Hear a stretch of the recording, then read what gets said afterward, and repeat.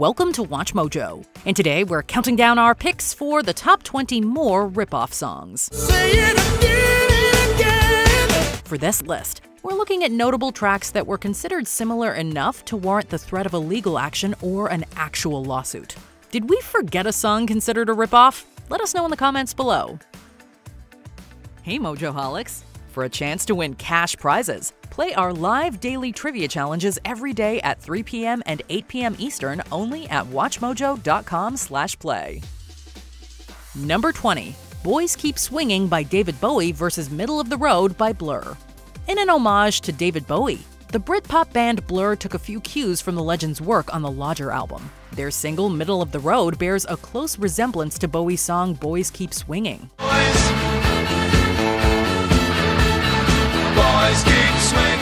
most of the music revolves around the same chord progression.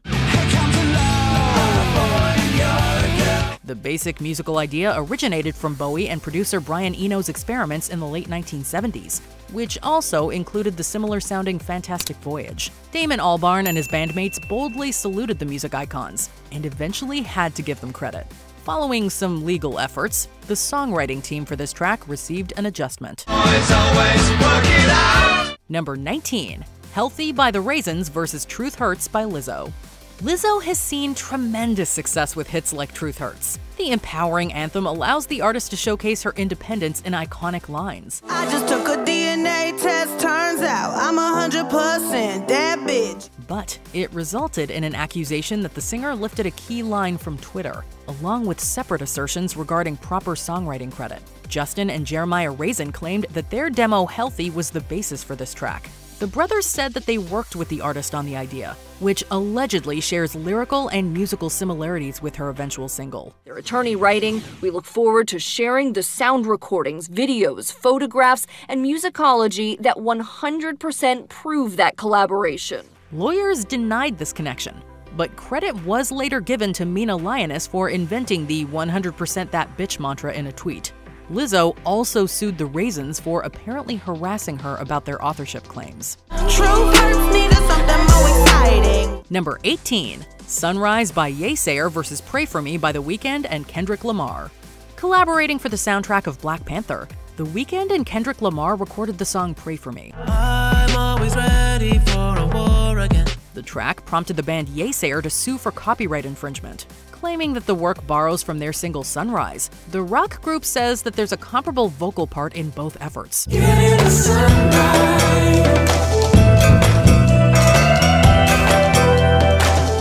act even argued that the accused artists replicated aspects of the original recording for their own benefit. Pushing back against the allegations, The Weeknd and Lamar asserted their innocence two years after the newer composition's release, Yeasayer ended the lawsuit and left the songwriters with full credit.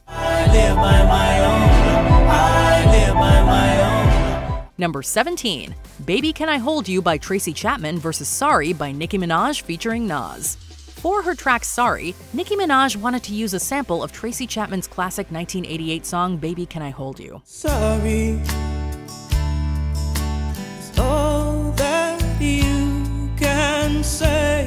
Minaj went ahead with the production despite Chapman denying her request. Sorry.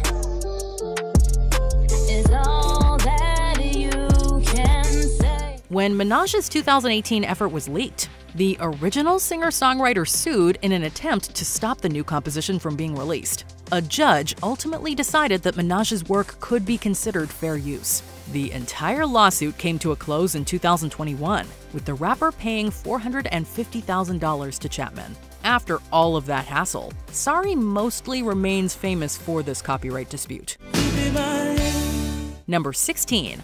Long As You Know You're Living Yours by Keith Jarrett versus Gaucho by Steely Dan. Jazz rock legends Steely Dan are known for their epic compositions and complex structures, but that doesn't mean they aren't also inspired by their contemporaries. Say, boy, Keith Jarrett's Long As You Know You're Living Yours is all over their track Gaucho and singer Donald Fagen later mentioned being inspired by it.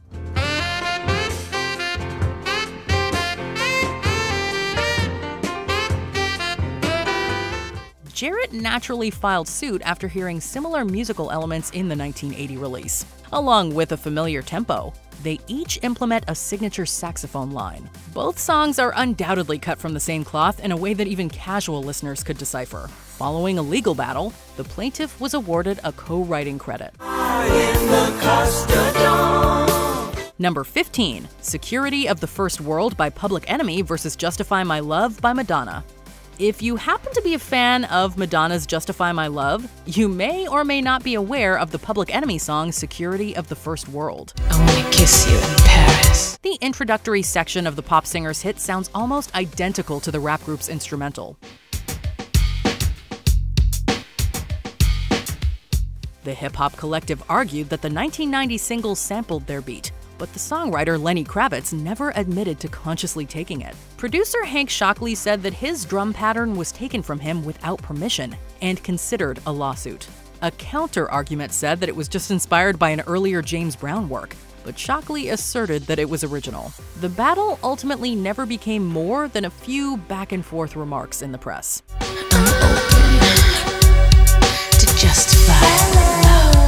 Number 14, We Run Things by Flourgon versus We Can't Stop by Miley Cyrus. The early 2010s saw the return of Miley Cyrus as a pop star, releasing the hugely successful single We Can't Stop. Some of the lyrics involve a line that singer Flourgon recognized. With a few basic differences, both tracks share the same central idea the Jamaican singer felt that it was too close to his own song We Run Things and followed up with a massive lawsuit. he initially hoped to receive damages in the neighborhood of $300 million. After Cyrus agreed to settle, the artist, also known as Michael May, won an unknown amount of money.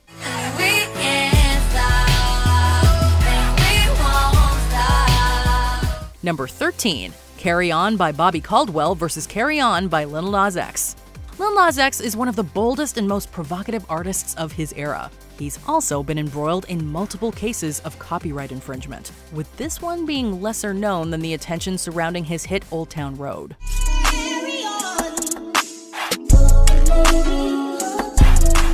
The single Carry On borrows more than just a title from Bobby Caldwell's song of the same name.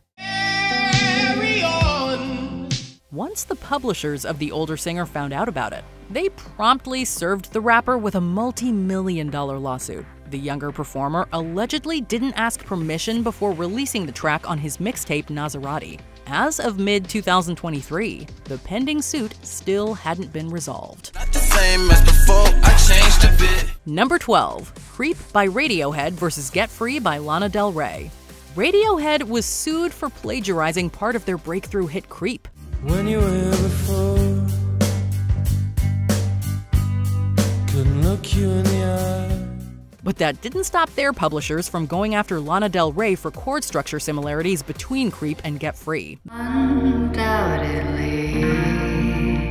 The publishers stated that they were merely asking for the writers of Creep to be added as co authors. The singer said she made an offer to them for a percentage of the royalties, but the Rock Act allegedly attempted to take away all of it for themselves. The suit was later settled, according to the Get Free performer. While some of these events are still unclear, there hasn't been any subsequent change to the credits for Del Rey's track. Number 11 Shadows of the Night by Pat Benatar versus No Rains by Rascal Flatts. After songwriter D.L. Byron heard the Rascal Flatts track No Rains, he was convinced that the group had taken a cue from one of his biggest works.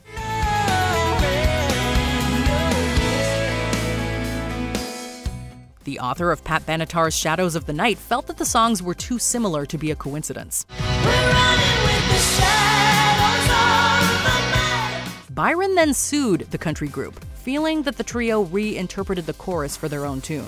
Representatives for one of the bandmates released a statement that denied any alleged plagiarism of the 1984 hit. Listeners will likely find themselves siding with the Benatar collaborator after hearing the introduction of the more recent release. All these years later, it seems that there hasn't yet been a proper end to the lawsuit. Number 10. Take a Dive by Brian Pringle versus I Got a Feeling by Black Eyed Peas. Unknown songwriter Brian Pringle alleged that a version of his track Take a Dive was used for the Black Eyed Peas smash I Got a Feeling. I got a feeling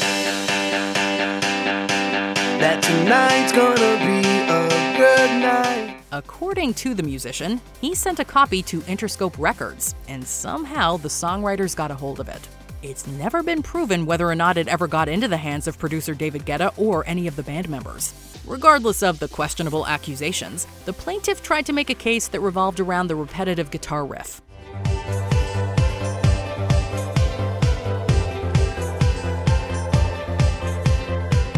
Pringle's work features a similar sound that he hoped would be surefire evidence in court. Unfortunately for his case, there wasn't sufficient evidence to move forward and the claim was dismissed.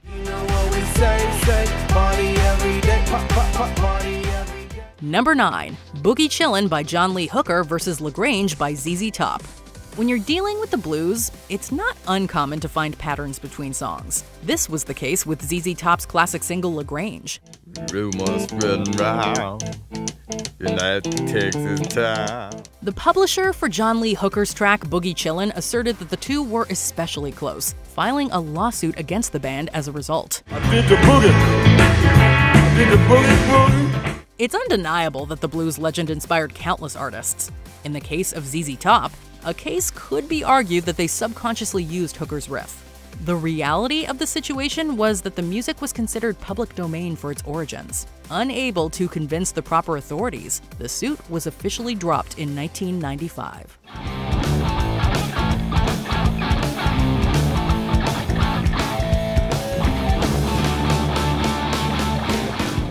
Number 8. 80s by Killing Joke versus Come As You Are by Nirvana. Following the release of their album Nevermind, Nirvana shot to fame, and even received scrutiny for their songs. Are, Such was the case for their single Come As You Are. British group Killing Joke thought the grunge band ripped off their guitar riff, leading to the threat of legal action. There was definitely a potential case to be argued with the help of musicologists. After the death of Kurt Cobain, the possible suit did not go forward, with the plaintiffs looking to move on with their lives. All that remains is the knowledge that Cobain himself knew the two pieces were perhaps too similar. Number 7. Love is a Wonderful Thing by the Isley Brothers versus Love is a Wonderful Thing by Michael Bolton. Singer Michael Bolton was known to revisit soul classics and invent a few of his own.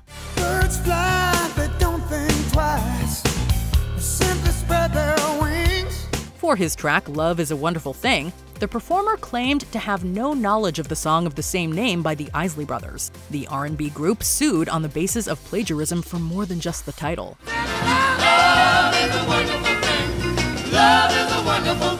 What followed was an almost decade long event that included failed appeals on the part of Bolton. Ultimately, the courts ruled in favor of the brothers and awarded them millions in royalties. It was considered one of the most significant payouts in music copyright history.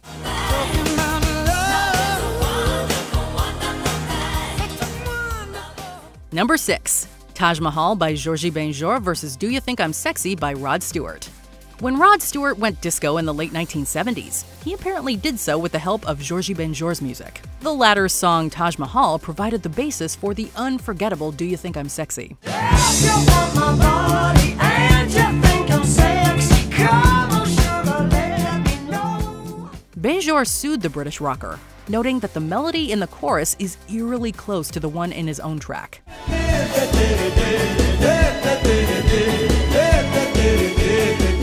Rather than letting it become a drawn out case, the former Faces frontman did the honorable thing. Stewart admitted that he had heard the other tune before and subconsciously swiped it for his own number. The profits for the pop tune were donated to UNICEF, giving this lawsuit one of the happier endings in music history.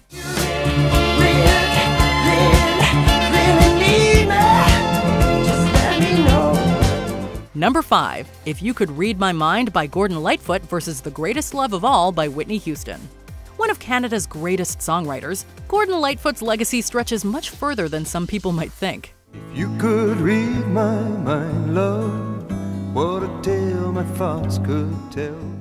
His DNA may or may not have inspired the producer Michael Masser on his composition The Greatest Love of All. Famously covered by Whitney Houston, the track features a vocal melody that's fairly close to the one in If You Could Read My Mind.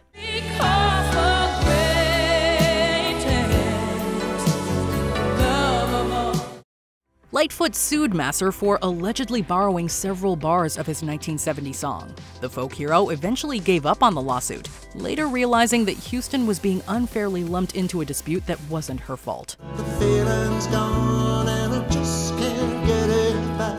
Number 4. Pour Some Sugar on Me by Def Leppard versus Midnight Memories by One Direction.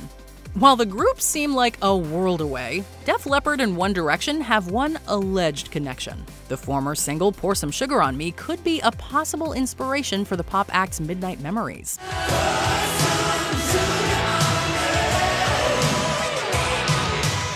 Many audiences found the choruses to have more than a passing resemblance, with the hard rock band considering a lawsuit. The writers of the 1987 classic decided to stop short of any official legal proceedings. Guitarist Vivian Campbell felt that the songs were both indebted to the blues, adding that there wasn't much reason to pursue such a common concept. The younger quintet's embrace of rock sounds ended up being a success in its own right.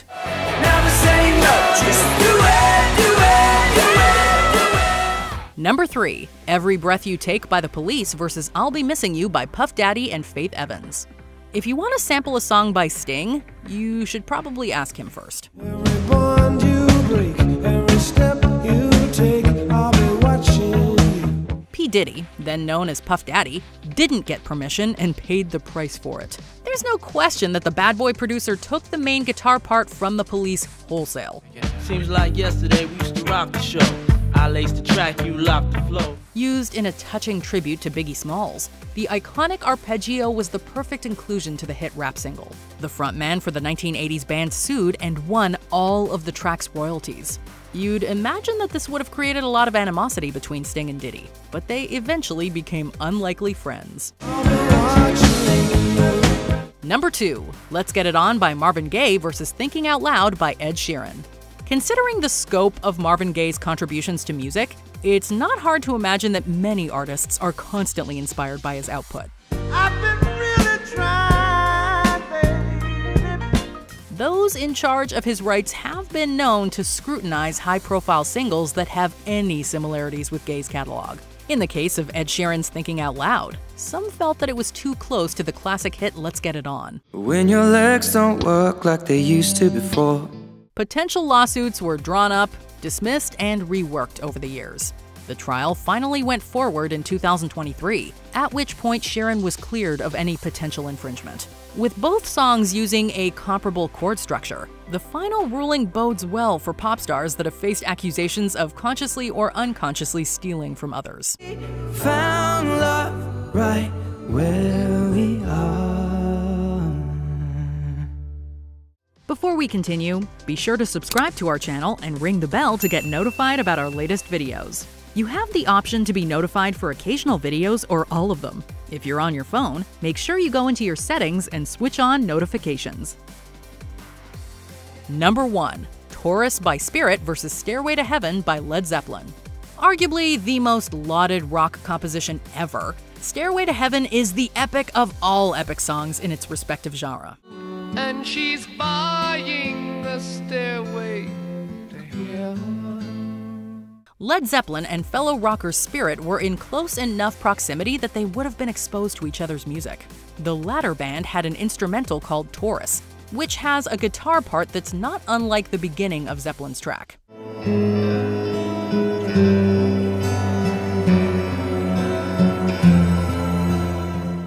sued for copyright infringement in 2014, entering into a multi-year war over the rightful authorship of Stairway. Robert Plant and Jimmy Page seemingly didn't have a memory of the plaintiff's music, and ultimately, the powers that be sided with the more famous musicians. Did you enjoy this video? Check out these other clips from WatchMojo, and be sure to subscribe and ring the bell to be notified about our latest videos.